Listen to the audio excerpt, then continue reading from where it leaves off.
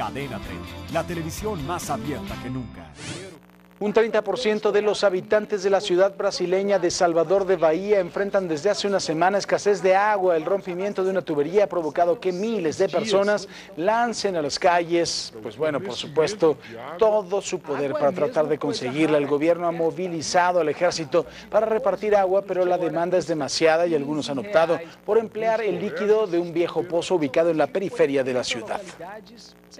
Ahí mismo en Brasil, cerca de 3.000 trabajadores se enfrentaron con la policía frente al Congreso en Brasilia en contra de un proyecto de ley que externaliza su fuerza de trabajo, promovido por la presidenta Dilma Rousseff.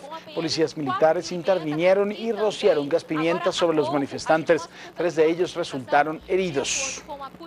Suscríbete a nuestro canal de YouTube para que siempre estés informado de las últimas noticias de México y el mundo. Empieza ahora mismo dándole clic a estos videos.